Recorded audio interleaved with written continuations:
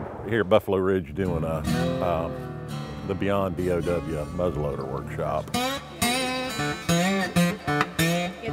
Actually, it's our agency's 25th year uh, that we've offered the program.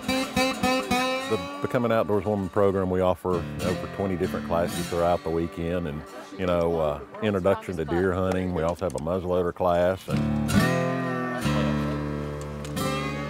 over the years, the ladies would take some of the classes, and you know, the classes are great, but we want to go hunting.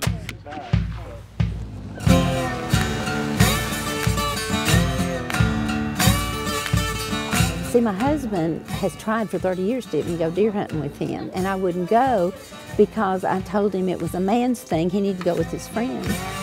Probably about 15 years ago, we started doing the Beyond BOW um, workshops in which we focus on single topics, such as um, what we're doing here this weekend at Buffalo Ridge Refuge. We have uh, 31 women that have been through the Outdoor Woman program that are taking part in a, a women's only uh, muzzleloader workshop. Pretty accurate assessment. Yep. First day we'll have the range set up. Um, we probably, you know, loan out eight or 10 loaner muzzleloaders also for participants aren't confident in their own muzzleloader, they can go out to the range, go through their muzzleloader, make certain their scopes are on, or if they want to use one of ours, we do that. We're trying to sight in some muzzleloaders. You know, I hate to say it, but I think girls do shoot better than guys. so they got a, better, a steadier hand, they listen better, uh, they don't have that macho effect, I guess you could say. And if you tell them to put that finger on that trigger and ease it back, that's what they'll do. For one thing, it, it I, ha I, had to take the TWRA course to do it. And that gave me uh, confidence in doing it because I, I studied it and I learned the rules and learned about guns. And then my husband being a hunter, he helped me with it. And then when this was possible to come to, it just opened a whole door, a world for me to do it. And I, I probably would not have been able to uh, embrace it like I have without this avenue. We'll have a nice meal that Friday night, and then we kind of go over the do's and don'ts and answer questions for participants, make certain they know exactly how everything's going to happen the next day, and then uh, we hit the ground running about 4.30 the next morning.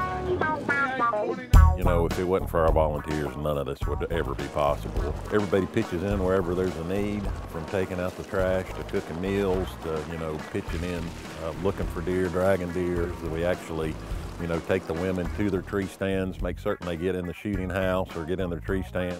Then at a designated time, we pick up the ladies. Um, if they're fortunate enough to get a deer, we want to get them involved with as much as possible, do the blood trailing, you know, and if they want to learn how to even field dress a deer. Oh my, it was so exciting. It was freezing to begin with. It was really cold and windy. I think it was 34 degrees, but and we were luckily in a shooting house, which which kept some of the elements away from us, but we had three windows and they were all open and we were plenty cold. I should have worn a heavier coat. But um, the exciting thing was we saw two beautiful bucks one was like a six or seven pointer, one was a nine pointer, and they just came up and taunted me and teased me. they did not stand properly. They looked me straight on instead of giving me their side so I could shoot him. And uh, the other one wouldn't slow down long enough for me to get him in the scope to shoot him. But I got a good look and my heartbeat went crazy. the whole shooting house shook.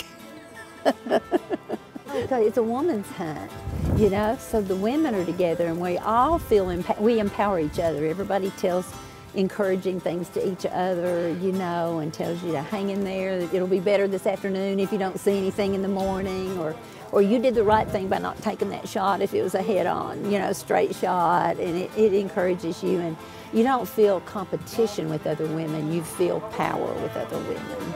You do. Hi, guess what? Listen, you ought to, you, you thought we had drama this morning. You should have seen the drama tonight, right, Wendy? It was, it was amazing. My gun misfired five times, and I had to use her gun.